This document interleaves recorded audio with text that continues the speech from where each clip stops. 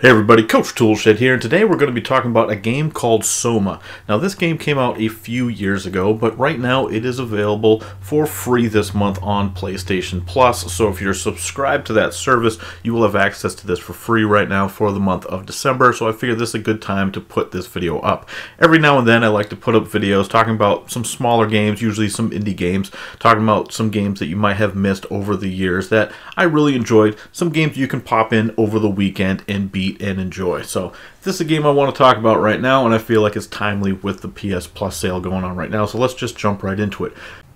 Now, Soma is made by Frictional Games, at the same company that brought you Amnesia, which is, of course, a survival horror game. Now, I wouldn't say Soma is necessarily survival horror, probably more suspenseful, and it still has sort of a horror vibe and it's labeled as a survival horror game, but I wouldn't say it's really necessarily all that scary. Now, there are some tense moments. I would say it's more suspenseful than anything, and there are some fail states you can have when you run into the monsters, as they call them in the game, but they're really, it, the moments of horror, I would say it's really more of a suspense game than anything else, and it's a bit of a mystery. So basically, what happens, I don't really want to spoil the story because it is a very narrative heavy story. So basically, what happens is you, the protagonist, are involved in an accident and you go in to see a doctor about getting your brain scanned for an experimental service to maybe help you out a little bit.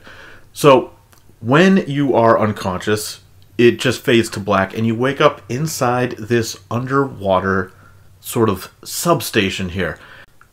And as you progress through the game, you'll keep going to station after station, moving your way up to the chain until you get to the final act of the story.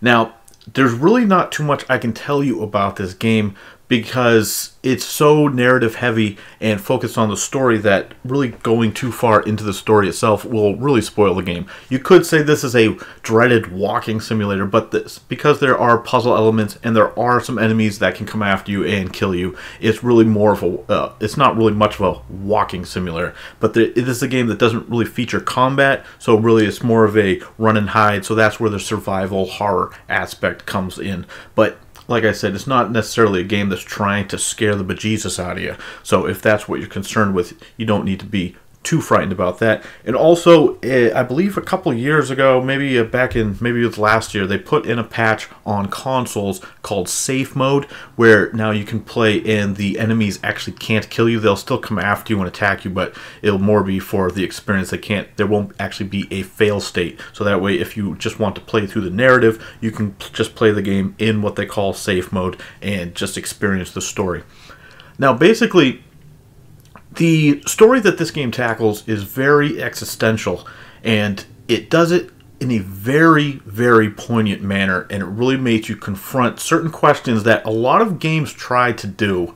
But this game really hits you right in the face with it, and especially at the end of the game, the conclusion of this game has stuck with me. I played this game almost three years ago now, and the ending of this game has still stuck with me. It is done very well, and there's certain story beats, certain choices that you have to make in the game that just it really will make you sit and think. Now, it's not really going to change the outcome of the story. It's not that type of game, but you will still have to make certain choices in the game that really will make you think about sort of metaphysical questions and about the questions of existence. And I feel like this story that this game has is even more poignant now in this day and age when we start talking about AI and human consciousness and you know you hear talk about people just transferring their consciousness onto computer programs and I, you know this game i think is getting more and more relevant as time goes by. So i think this is definitely a game. If you are interested in this like i said it is available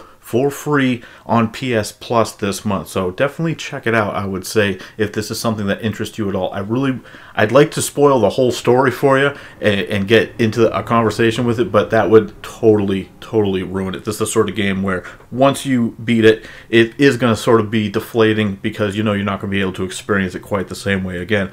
But it is a solid game and definitely worth checking out and and it is available on Xbox One and PC as well. I don't know what the cost is for it right now exactly, but this is a game that I would recommend checking out. It's a game you can beat in under 10 hours. I think maybe it took me about 8 hours to beat. I beat it in a weekend. So this this is just the sort of video I like to bring you every once in a while, just a weekender game, something you can bang out and just really enjoy the experience.